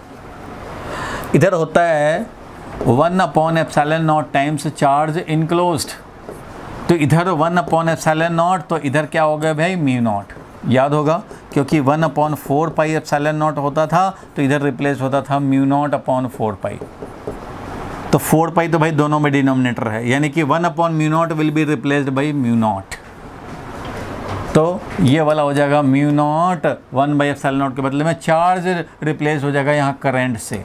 करेंट इनक्लोज यहाँ चार्ज इनक्लोज तो यहाँ करेंट इनक्लोज्ड तो इसका स्टेटमेंट क्या होगा भाई? तो ई डॉट डी एस का नाम है सरफेस इंटीग्रल मैथमेटिकल नेम क्या है? Surface integral of electric field जिसको कि हम लोग बोलते हैं फ्लक्स इसका फिजिक्स में नया नाम दिया हमने फ्लक्स और इधर क्या है भाई तो इसका भी मैथमेटिकल नेम है सरफेस इंटीग्रल के बदले में किसको बोल इसको बोलते हैं लाइन इंटीग्रल किसका भाई? मैग्नेटिक फ़ील्ड का। और इसका फिजिक्स में कोई स्पेशल नेम नहीं है। इसलिए एम्पियर्स लॉ का स्टेटमेंट क्या बनेगा? तो एम्पियर्स लॉ का स्टेटमेंट बनेगा, लिख लो। line integral of magnetic field for any closed loop is mu naught times total current enclosed by the closed surface. इस क्लोज सरफेस का भी एक नाम है। क्लोज सरफेस जैसे उधर क्लोज सरफेस का नाम था गॉसियन सरफेस क्लोज सरफेस नहीं क्लोज लूप लिखेंगे। Current enclose by the close loop called Ampere's loop ऐसे क्लोज लूप को हम लोग एम्पियर्स लूप जैसे उधर गॉसियन सरफेस बोलते थे, इधर एम्पियर्स लूप या एम्पेरियन लूप एम्पेरियन लूप बोलते हैं। तो this is the statement of Ampere's circuital law circuit कर रहे हैं सर्किटिंग मतलब सर्किटिंग कर रहे हैं सर्किट सर्कुलेट कर रहे हैं। तो एम्पियर सर्किट सर्किटल लॉ बोलते हैं इसको सर्कुलेट करते हैं, इसलिए सर्कुलेट कर या किसी तरह से रेक्टेंगल से भी क्लोज होना चाहिए। रेक्टेंगल से भी क्लोज लूप बना सकते हैं। D l d l d l d l करते करते जाएँगे और एक बार बी डॉट डी एल हो जाएगा फाइनली तो वो होगा mu nought into current enclosed अब कन्फ्यूज़न बात करेंगे हम लोग। करंट इनक्लोज का क्या मतलब है? बोलो भाई, यहाँ तक क्लियर है? अभी स्टेटमेंट तो क्लियर हुआ? Yes रिपीट कर दो रिपीट क्या कर रहे हैं भाई? अभी तो इसका आधा पार्ट हुआ है। अभी तो मैंने स्टेटमेंट जस्ट बोला है। करंट कैसे इनक्लोज करेंगे? वहाँ तो चार्ज इनक्लोज करना होता था। देख लेते थे भाई कि इस क्लोज्ड सरफेस के अंदर कितने चार्ज आए उनका नेट चार्ज इनक्लोज यहाँ पे करंट कितना आए इस लूप के अंदर, वो इनक्लोज करने हैं। कैसे करेंगे अभी बताएँगे। फ़िलहाल ये है कि B dot d l B dot d l B dot d l करते जाओ करते जाओ क्लोज लूप बनाओ। तो सब B dot d l B dot d l जब सारे इंटीग्रेट हो जाएँगे फॉर ए क्लोज लूप तो this will be equal to mu nought यानी permeability times current enclose current enclose by the Ampere's loop Ampere's loop के अंदर से जो करंट जाएँगे वो काउंट होगा। जैसे गॉसियन सरफेस के अंदर जो चार्ज होते हैं, बाहर वाला नहीं काउंट होता, वैसे यहाँ भी अंदर वाले करंट ही काउंट होंगे। कैसे काउंट होंगे वो ज़रा समझो। ये अगर तुमने एम्पियर्स लूप लिया मतलब मतलब ये हुआ कि तुमने बी डॉट डी एल ऐसे किया बी डॉट डी एल ऐसे किया बी डॉट डी एल ऐसे B dot d l B dot d l B dot d l B dot d l B dot d l करते जा रहे हैं। इधर क्लोज इधर हमने डार्क दिखाया मतलब पास वाला तुम्हारा। और तुमसे अवे गए तो ये ऐसे, ये हॉर्जेंटल में डॉट वाला दिखा रहे हैं। हॉर्जेंटल में जो दूर वाला है डॉट वाला मतलब तुम ये समझो d l d l d l d l ऐसे कर रहे हैं जो पास वाले में राइटवर्ड जा रहे हैं d l d l d l d l और जब दूर आ गए तो leftward d l d l d l d l d l d l तो ये दूर वाला में तो डॉट डॉट दिखा रहे हैं डी एल डी एल और पास है तो ये rightward d l d l d l d l करते करते तो इधर डॉट वाले में चले गए B dot d l B dot d l B dot d l B dot d l ऐसे इधर डार्क वाले में आ गए इधर यहाँ तो B dot d l B dot d l ऐसे जब करेंगे B dot d l B dot d l करते जा रहे हैं तो जब पूरा क्लोज कर लेंगे B dot d l B dot d l करते करते तो इस लूप के अंदर से जो करंट निकल रहे हैं या जा रहे हैं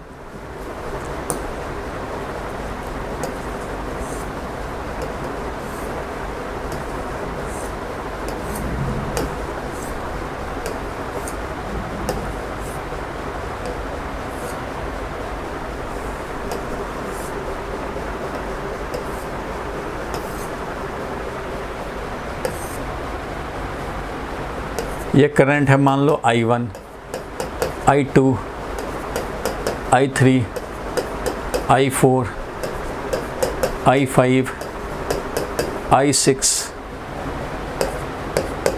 I seven ये आई वन है भैया, यही वाला आई वन ये आई टू है तो यही वाला आई टू ये आई थ्री है भाई, यही वाला आई थ्री है। आई फोर अपवर्ड जा रहा है आई फोर दिखाएँगे।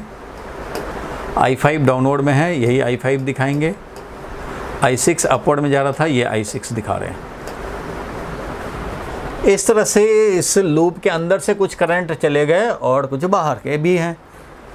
तो इसके लिए जब लिखेंगे हम लोग B dot d l B dot d l इसके लिए लिखेंगे एम्पियर्स लॉ जब लिखेंगे तो ऐसे लिखूँगा भाई B dot d l B dot d l करते जाएँगे। B dot d l B dot d l ऐसे करते जा रहे हैं, मान लो। ठीक है भाई? B dot d l B dot d l हो रहा है। करते जा रहे हैं भाई। मैग्नेटिक फ़ील्ड यहाँ का magnetic field B dot d l magnetic field B dot d l magnetic field यहाँ का यहाँ का डी एल यहाँ का मैग्नेटिक फ़ील्ड इस तरह से करते जा रहे हैं और फाइनली करते करते वापस भी हम लोग B dot d l B dot d l करते करते वापस यहाँ आ गए। तो this will be equal to mu nought times current enclose तो करेंट इनक्लोज में क्या करेंगे? तो देखना ध्यान से। D l d l d l d l सामने वाले में तुम्हारे राइट वर्ड जो पास में है, दूर वाले में लेफ़्ट वर्ड तो ऐसे चल रहा है B dot d l B dot d l ऐसे। तो जिधर से लुपिंग कर रहे हो ना, ये लुपिंग कर रहे हो। B dot d l B dot d l ऐसे कर रहे हैं। B dot d l B dot d l तो ये लुपिंग सेंस कर्ल फिंगर से घुमाओ। तो थंब बताएगा पॉजिटिव करंट का डायरेक्शन अगर हम लोग लुपिंग ऐसे कर रहे हैं, ऐसे कर रहे हैं कर्ल फिंगर ऐसे घुमाएँगे भाई कर्ल फिंगर ऐसे घुमाएँगे तो जो थंब हमारा होगा, वो बताएगा डायरेक्शन पॉजिटिव करंट का डायरेक्शन थंब बताएगा. लुपिंग सेंस अगर ऐसे है, ऐसे लुपिंग कर रहे हैं तो ये है हमारा पॉजिटिव करंट तो जो निकलेंगे उसको पॉजिटिव लेंगे जो अंदर जाएँगे वो निगेटिव ये समझो ऐसे ये है loop B dot d l B dot d l B dot d l B dot d l B dot d l B dot d l करते जा रहे हैं तो ऐसे लूपिंग कर रहे हैं तो ये है पॉजिटिव अगर ऐसे करते हैं कि B dot d l B dot d l B dot d l B dot d l B dot d l B dot d l ऐसे कर रहे हैं तो ऐसे लूपिंग सेंस तो ये डायरेक्शन पॉजिटिव तो जितने करंट इधर होंगे वो पॉजिटिव जो अपोजिट में आएँगे वो नेगेटिव तो अभी तो भाई ये हुआ है कि दूर वाले में लेफ़्ट वर्ड और पास वाले में राइट वर्ड तो B dot D L B dot D L B dot D L कर रहे हैं। ये है पॉजिटिव तो जो निकलेंगे इधर अपवर्ड में, वो सब पॉजिटिव लिए जाएँगे। इसलिए यहाँ पे हो जाएगा आई वन निकला है भाई आई वन पॉजिटिव ये तो भाई आई सेवन बेकार है। यूजलेस से बाहर वाले को काउंट नहीं करना है। आई टू ये भी तो निकल रहा था भाई plus I two I three ये अंदर जा रहा था। इधर वाले को हमें लेने हैं पॉजिटिव इधर वाला पॉजिटिव होगा। तो I three minus I four निकल रहा है भाई। आई फाइव नीचे आ रहा है तो minus I five I six count करने की ज़रूरत नहीं है। तो लूप के अंदर से जो करंट होंगे, उन्हीं को लेने हैं। किस डायरेक्शन में पॉजिटिव लेने हैं तो भैया लूपिंग सेंस ले लो। आप जिधर जाना चाहते हो बी डॉट डी एल ऐसे ऐसे करना चाह रहे हो कर्ड फिंगर के लो तो ये है बताएगा पॉजिटिव करंट का डायरेक्शन कर्ड फिंगर ऐसे घुमाओगे भाई तो ये बताएगा पॉजिटिव करंट का डायरेक्शन अब मान लो, ऐसे हैं, ऐसे लूपिंग कर रहे हो। और यहाँ पे ये है करंट वन ये है करंट टू ये क्रॉस में है करंट थ्री क्रॉस में करंट है आई फोर डॉट में करंट है आई फाइव और इधर क्रॉस में करंट है आई सिक्स तो इसके लिए जब B dot D L B dot D L कर रहे हो B dot D L B dot D L B dot D L ऐसे कर रहे हो। भैया तो ऐसे कर रहे हो बी डॉट डी एल तो ये वाले को पॉजिटिव लेंगे मीन्स डॉट वाले को पॉजिटिव लेंगे। तो इसके लिए क्या लिखोगे भाई? Mu not into current enclose तो डॉट वाले को, क्योंकि लुपिंग सेंस तुम्हारा ये है तो ये है पॉजिटिव डायरेक्शन तो डॉट वाले जो हैं वो पॉजिटिव हैं। ये है वाला ये वाला पॉजिटिव तो यहाँ होगा I one plus I two minus I three minus I four बाकी का लेने की ज़रूरत ही नहीं है क्योंकि बाहर है उसको नहीं लेंगे। ये मिल जाएगा इसके लिए। बोलो भाई क्लियर हुआ? Yes, sir. Line integral of magnetic field for any close loop is mu naught times total current enclose by the close loop called Ampere's loop तो एम्पियर्स लूप एक सर्कुलर हो सकता है एम्पियर्स लूप एक rectangle हो सकता है, जैसा कन्वीनियंट हो वैसा हो सकता है। जिस तरह से गौसला वैसे ही ये भी। गौसियन सरफेस में भी हम लोग अगर ध्यान देते थे, याद होगा तो गॉसियन सरफेस कैसा लेना चाहिए भाई? तो गॉसियन सरफेस ऐसा लेना चाहिए कि हर एरिया एलिमेंट हर एरिया एलिमेंट चाहे तो पैरेलल टू इलेक्ट्रिक फ़ील्ड हो सच डैट कि एंगल हमारा क्या मिले भाई?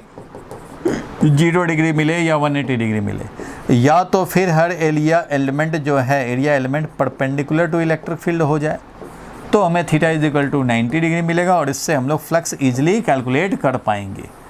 मतलब गॉसियन सरफेस का ऐसा सिलेक्शन करना चाहिए सच डैट कि एरिया एलिमेंट्स चाहे हमारा पैरेलल होता रहे या परपेंडिकुलर होता रहे या इन्हीं दोनों से बना रहे। किसी भी एलिमेंट पे हमें इवेलुएट जब ई डॉट डी एस करेंगे तो ये इवेलुएट करने में कोई प्रॉब्लम ना आए। ये चालाकी करनी पड़ती है भाई। फ़ील्ड लाइन देख करके गॉसियन सरफेस सेलेक्ट कर लेते हैं। अगर रेडियल है तो स्फेरिकल गॉड, हम लोग लेते हैं पॉइंट चार्ज हो रेडियल फ़ील्ड लाइन हो। तो हम लोग स्फेरिकल गॉसियन सरफेस लेते हैं सच डैट कि हर एरिया एलिमेंट हमारा फ़ील्ड के डायरेक्शन में ही रह जाए। अगर हमारा इस तरह से लीनियर वायर होता था और ऐसे फ़ील्ड जब निकलते थे तो हम लोग सिलेंड्रिकल लेते थे गॉसियन सरफेस तो इसी कंडीशन को सेटिस्फाई करने के लिए कि गॉसियन सरफेस चाहे हमारा पैरेलल वाले एलिमेंट्स से बना हो या परपेंडिकुलर वाले से बना हो, कुछ भी एंगल ना आता हो। मतलब ये इन्हीं में से आए ज़ीरो वन एटी आए या 90 डिग्री आए। तो वैसे ही एम्पियर्स लूप को भी सिलेक्ट करने में हम लोगों को ध्यान रखना चाहिए कि जितने डीएल हैं, वो चाहे तो मैग्नेटिक फ़ील्ड के पैरेलल में आते रहें, या जितने डीएल हैं परपेंडिकुलर वाले से आते रहें। परपेंडिकुलर मैग्नेटिक फ़ील्ड क्या है? तब भी इनसे बड़ा होना, बना होना चाहिए एम्पियर्स लूप। तभी आप इजीली इवेलुएट कर पाएँगे left hand side of the equation. अब इसका एप्लीकेशन पढ़ने हैं। तीन चार एप्लीकेशन पढ़ने हैं, वो हम लोग धीरे धीरे करके जानेंगे तो आप इस कॉन्सेप्ट को भी पहचान लेंगे। जिस तरह से गौसलो आप समझते हैं, वैसे ही ये भी समझ जाएँगे। चलो, आज कुछ एप्लीकेशन इसके कर लेंगे तो पता लग जाएगा। इसका एप्लीकेशन मैग्नेटिक फ़ील्ड कैलकुलेशन करने में करते हैं। जिस तरह से गॉस लॉ से इलेक्ट्रिक फ़ील्ड निकालते हो, वैसे ही एम्पियर्स लूप से हम लोग एम्पियर्स लॉ से मैग्नेटिक फ़ील्ड निकाल सकते हैं। सिमेट्रिकल करंट डिस्ट्रीब्यूशन हो तो तो चलो भाई, सबसे पहले यूज़ किया जाए, इसका एप्लीकेशन नंबर वन लिखो लिखो भाई application number one magnetic field due to straight long wire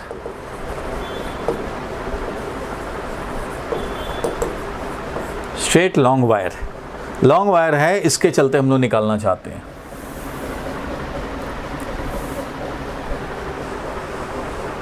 तो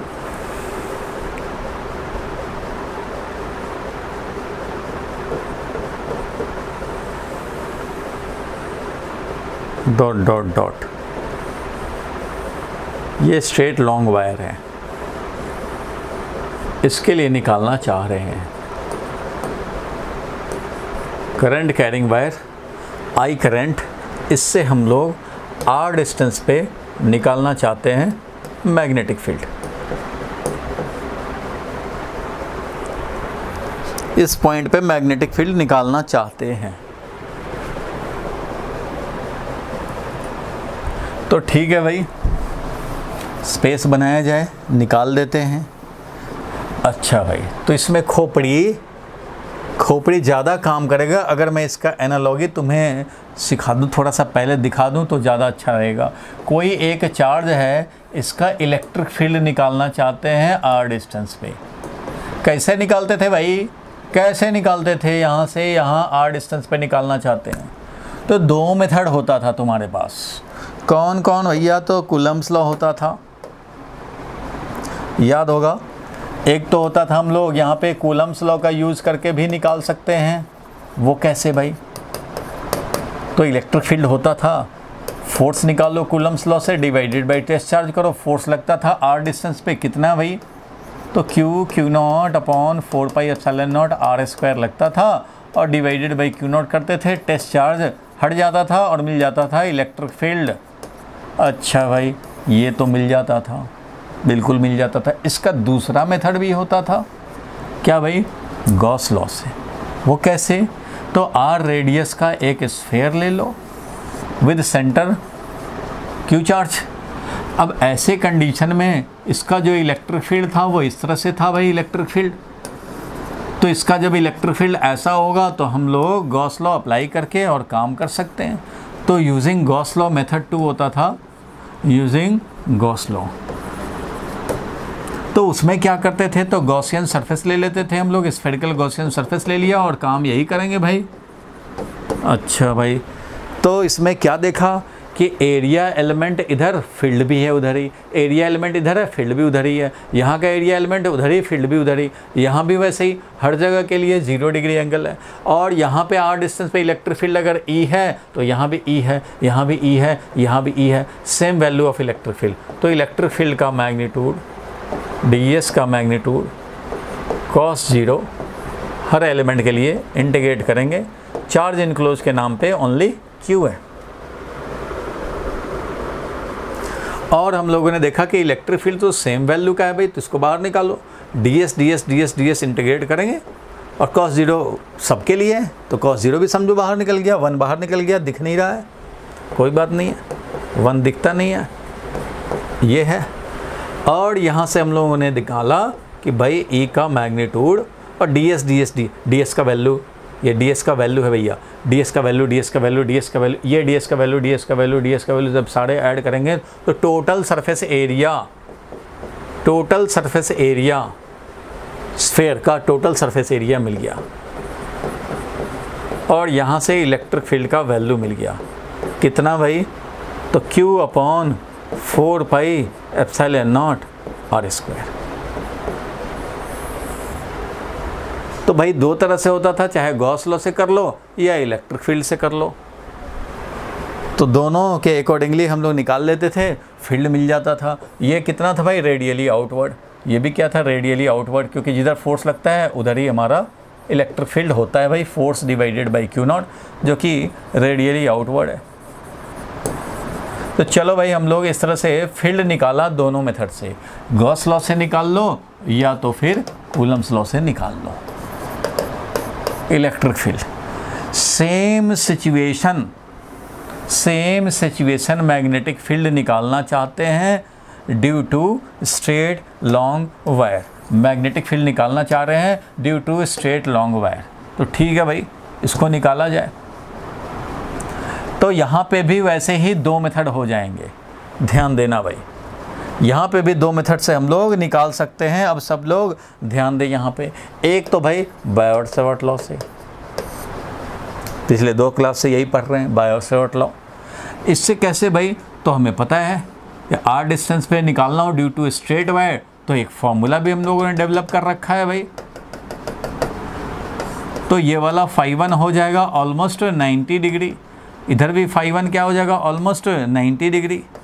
तो दोनों तरफ़ five one and five two हो गया 90 90 डिग्री इसलिए बायोट सवर्ट लॉ से निकालना चाहेंगे मैग्नेटिक फ़ील्ड तो कितना हो जाएगा भाई? तो mu not upon four pi I A divided by perpendicular distance तो वही तो आ रहा है। और कितना भाई? तो sine 90 degree plus sine 90 degree this will be equal to कितना? वन प्लस वन टू हो गया। Mu naught I upon two pi R ये हो गया magnetic field at point P two हो गया, वन वन, टू से फोर कैंसिल हो गया, टू बन गया। ये मिल गया भाई magnetic field according to Biot Savart law ठीक है भाई, ये तो आप समझ रहे हैं बायोट सेवर्ट लॉ के अकॉर्डिंगली ये काम हुआ। तो इसको भी हम लोग इसके साथ ही रख दें तो अच्छा है। और अब दूसरा मेथड क्या है भाई? तो दूसरा मेथड है हम लोगों का कि हम लोग अब निकालें using Ampere's law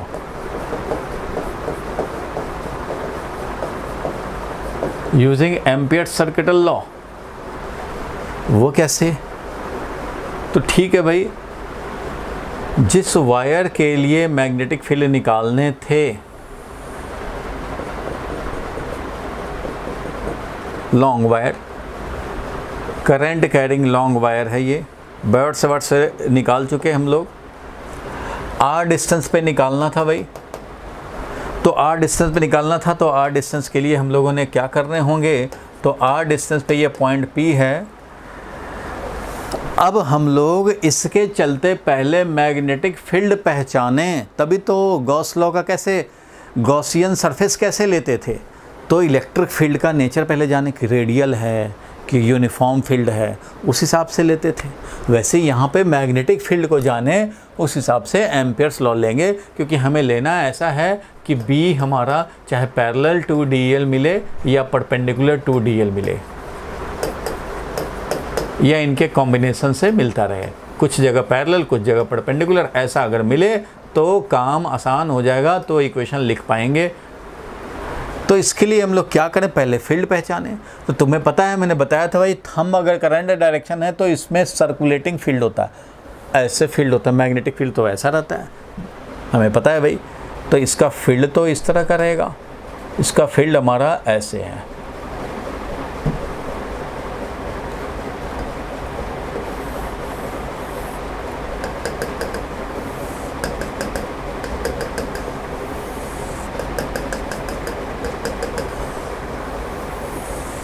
इस तरह का तो भाई मैग्नेटिक फ़ील्ड होता है। तो हम लोग कैसा एम्पियर्स लूप लें? तो भाई एम्पियर्स लूप ले लो इस तरह का।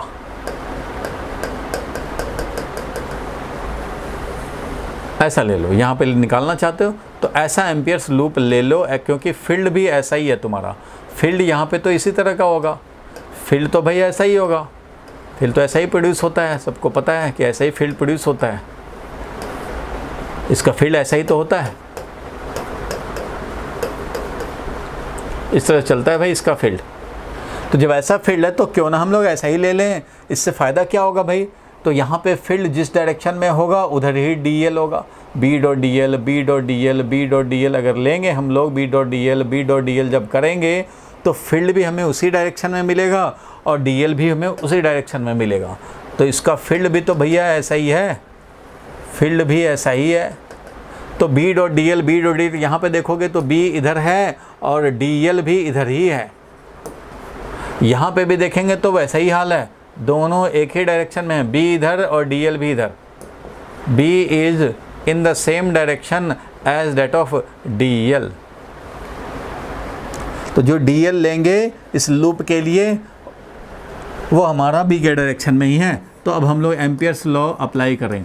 B dot D L B dot D L is equal to mu not into current enclose करेंगे और ये अगर करंट कैरिंग वायर है तो इसके सराउंडिंग में ऐसे फ़ील्ड है आर रेडियस पे निकलना था तो आर रेडियस का ही ये रिंग ले लेंगे समझो सर्कल और इधर ही जाएँगे फ़ील्ड हमारा उधर ही है करंट फ़ील्ड उधर ही है उधर ही जाएँगे D L B dot D L B dot D L B dot D L B dot D L B dot D L हर जगह ज़ीरो एंगल मिलेगा B D L B D L B D L B D L B D L होता रहेगा हर जगह zero angle मिलेगा। इसलिए ये क्या बन जाएगा भाई? बी का वैल्यू डी एल का value cos zero degree mu not into current enclose और इसको हमें क्या करने पड़ेंगे भाई? तो इसको हमें इंटीग्रेट करने पड़ेंगे।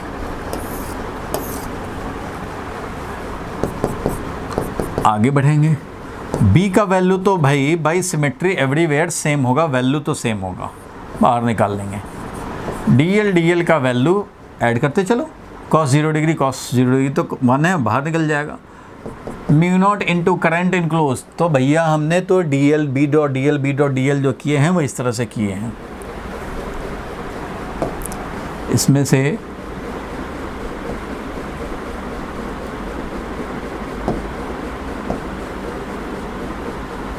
पूरा ही हट जाएगा ये तो।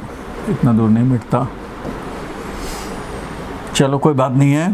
तो B dot D L B dot current enclose कितना? तो भाई, ये है करंट कैरिंग वायर हम लोगों ने इसका फ़ील्ड जो ऐसे होता है सर्कुलर हम लोगों ने यही तो एम्पियर्स लूप भी ले लिया इसलिए B dot D L B dot D L ऐसे हो रहा था। तो भाई, इसके अंदर से जो करंट जाए तो वही तो आई करंट ही तो जा रहा है। और तो कोई है ही नहीं, एक ही है। तो current enclose will be equal to I current enclose कितना हो जाएगा? तो ये तो भाई आई ही हो जाएगा। पूरा का पूरा करंट बोलो भाई, यहाँ तक क्लियर है? पूरा करंट तो उसके अंदर से ही जा रहा था।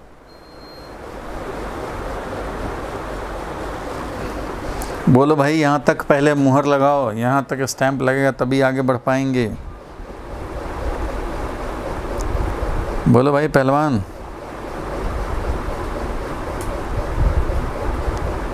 रोशन क्लियर है यहाँ तक?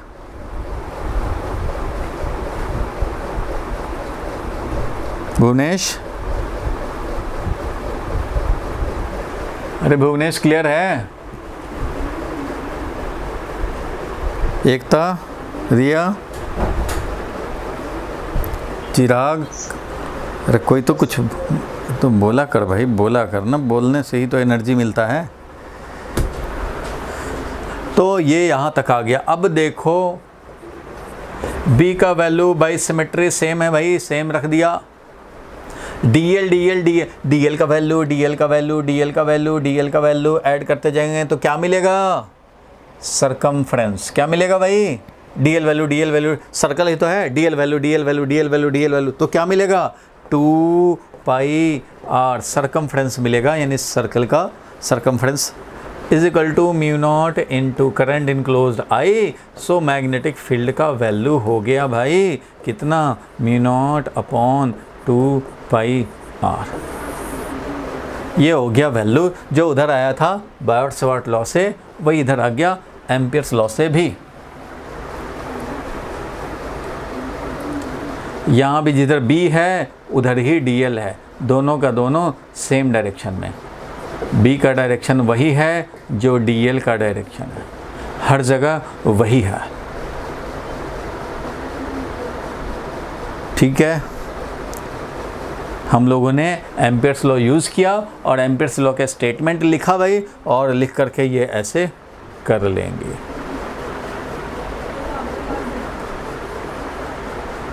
बोलो भाई, ठीक है यहाँ तक?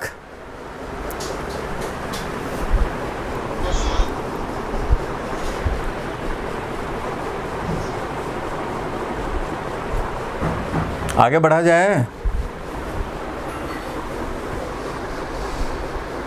एक तो समझ में आ गया। क्या रोल है एम्पेयर्स लॉ का? ये भी समझ में आ गया तुम्हें?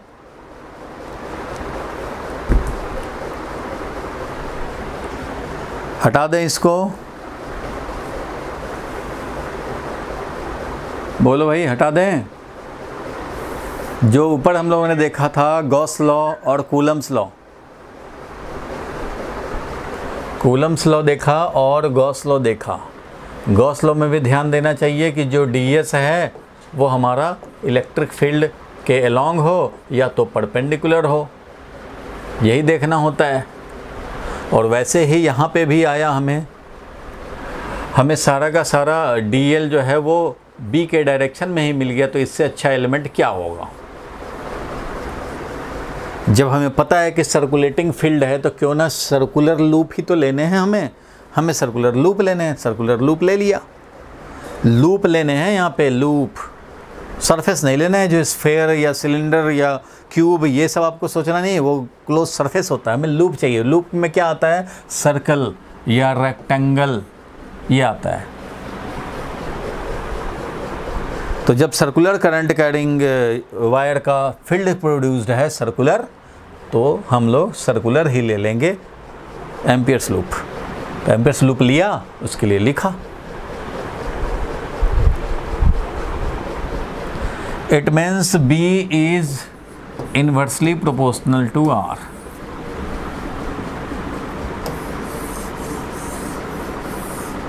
इसलिए इसका अगर हम लोग लिखना चाहेंगे मैग्नेटिक फ़ील्ड और आर में या एक्स में दिखाना चाहेंगे तो ये इस तरह से दिखाएँगे। इस तरह दिखाएँगे तो इधर इन्फिनिटी नहीं कर देंगे, इधर फाइनाइट से ही दिखाएँगे।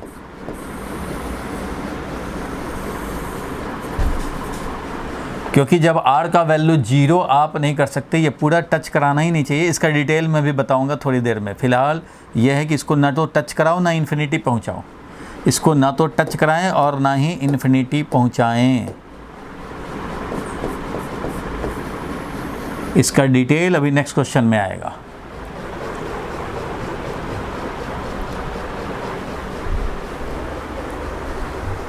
बोल भाई, यहाँ तक ठीक है?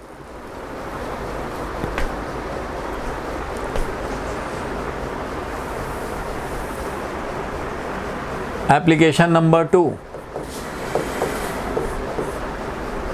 करवा दें कि छोड़ दें? बोलो भाई, पहलवान टाइम बचा है? अच्छा पाँच मिनट ही बचा है। तो देखो भाई, मैं यहाँ पे तुम्हें बता दे रहा हूँ इसका क्लू यहाँ पे कि ये ग्राफ में क्या होगा। Application number two next class में देख लेंगे, कोई बात नहीं है। अभी ये देखो कि यहाँ पे हम लोग टच नहीं कराएँगे, क्योंकि जो भी वायर होता है ना वायर करंट कैरिंग वायर उसका कुछ तो रेडियस होता है। कुछ तो रेडियस होगा उसका। करंट कैरिंग वायर है तो उसका कुछ रेडियस होगा भाई।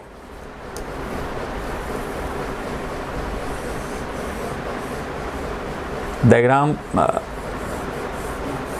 समझ ले, बस समझना है। कुछ रेडियस होगा। तो रेडियस होगा तो ये ज़रा ध्यान देना कि बाहर में ही फ़ील्ड होता है। इसलिए जो सरफेस पे होगा फ़ील्ड वहाँ से शुरू होगा और ये ऐसे इन्फिनिटी पे जा कर के ये बिल्कुल टेंडिंग टू ज़ीरो हो जाएगा। तो इसलिए मैंने यहाँ टच नहीं कराया हूँ और इसके अंदर में फ़ील्ड जो रहता है, वो ज़ीरो रहता है। वायर मान लो हमारा इतना है, ये है। ये तो खाली एक्सेस दिखाया है, ये पिंक से तुम्हें एक्सेस दिखाया है भाई। वायर पूरा तुम्हारा ये है। तो वायर का कुछ तो रेडियस होगा, थीन हो चाहे थिक हो, कुछ तो रेडियस होगा भाई। तो ये जो इसके अंदर में फ़ील्ड होता है ना, वो ज़ीरो रहता है। अंदर में फ़ील्ड क्या रहेगा? ज़ीरो रहेगा। अंदर में फ़ील्ड रहेगा ज़ीरो और बाहर में रहेगा, ये है मान लो solid wire current carrying solid wire या हॉलो वायर हॉलो पाइप जैसा समझ सकते हैं। हॉलो पाइप समझो इसको।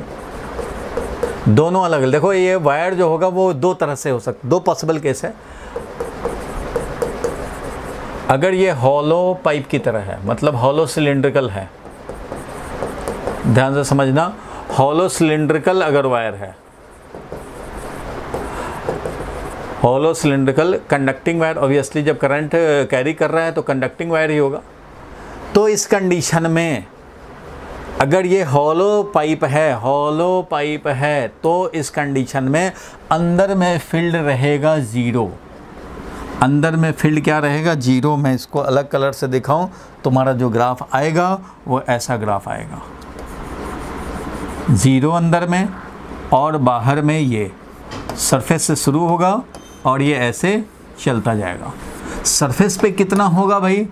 तो सरफेस पे होगा mu naught I by two pi इसका radius mu naught I by two pi R होता है भाई। तो ये स्मॉल आर का वैल्यू यहाँ पे कैपिटल आर रख दो। स्मॉल आर का वैल्यू कैपिटल आर रख दो।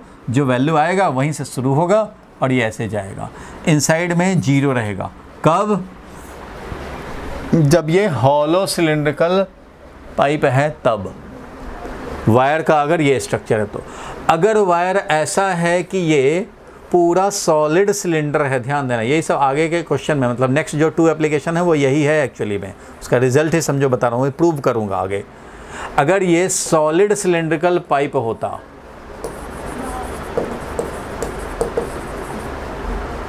solid cylindrical current carrying rod होता तो इस कंडीशन में जो मैं फ़ील्ड दिखाने जा रहा हूँ अब तो वो अब ज़रा समझो। इस कंडीशन में जो होगा, वो मैं दिखा रहा हूँ तुम्हें। तो वो तुम्हें ऐसा होगा। अंदर में, मान लो यहाँ पे है, जो सरफेस वाला mu naught I by two R बाहर में तो वैसे ही, बाहर में वैसे ही, लेकिन अंदर में अंदर में ऐसे ज़ीरो से लेकर के मैक्सिमम जो भी वैल्यू है, वहाँ तक लीनियरली इंक्रीज होगा। जिस तरह से सॉलिड चार्ज्ड स्फेयर होता था, उसमें अंदर में, याद होगा स्फेयर के अंदर में ऐसे चलता था और बाहर में ऐसे सॉलिड वाले में, जिसमें पूरे में अगर चार्ज होता था तो। एनालॉगी से दिखा रहा हूँ, और सिर्फ़ सरफेस सरफेस पे चार्ज होता था तो याद होगा अंदर में फ़ील्ड ज़ीरो होता था, अंदर में फ़ील्ड ज़ीरो और बाहर में ऐसे होता था। याद है? इलेक्ट्रिक फ़ील्ड और इसका भी इलेक्ट्रिक फ़ील्ड वैसे होता था, ऐसे यूनिफॉर्मली इंक्रीज और इधर जा कर के डिक्रीज तो बिल्कुल वैसे ही यहाँ भी है।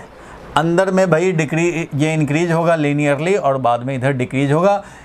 इन दोनों, देखो एप्लीकेशन नंबर टू ये है और एप्लीकेशन नंबर थ्री ये है। इसी का डिटेल दिखाया जाएगा। एप्लीकेशन नंबर टू और एप्लीकेशन नंबर थ्री में डिटेल में दिखाया जाएगा। इसलिए जो फ़र्स्ट एप्लीकेशन है लॉन्ग वायर का उसमें ये डिटेल छोड़ दिया जाता है। यही दिखाया जाता है कि इन्वर्सली प्रोपोर्शनल टू आर है। बाहर में इन्वर्सली प्रोपोर्शनल टू आर है। Mu naught I upon two pi small R है। टू आर होता था ना? टू टू पाई आर हाँ mu naught I by two pi R ये बाहर में ऐसे है भाई। टू पाई आर इस तरह से, बाहर में इस तरह से इन्वर्सली प्रोपोर्शनल टू आर है। तो ये जो हम लोग देखेंगे, ये एप्लीकेशन नंबर टू है, ये नेक्स्ट क्लास में इस रिज़ल्ट को देख पाएँगे, और ये एप्लीकेशन नंबर थ्री है, ये भी नेक्स्ट क्लास में हम लोग देख पाएँगे। और इसके अलावा कुछ एनिमेशन वाले चीज़ देखने पड़ेंगे। Visualization of magnetic field very very important और अगले ही क्लास में आएगा सोलेनॉइड एंड टोरोवाइड मतलब समझने के पॉइंट ऑफ़ व्यू से विजुलाइज करने के पॉइंट ऑफ़ व्यू से, खोपड़ी में एडजस्ट होने के पॉइंट ऑफ़ व्यू से वेरी वेरी इंपॉर्टेंट क्लास होने वाला है नेक्स्ट क्लास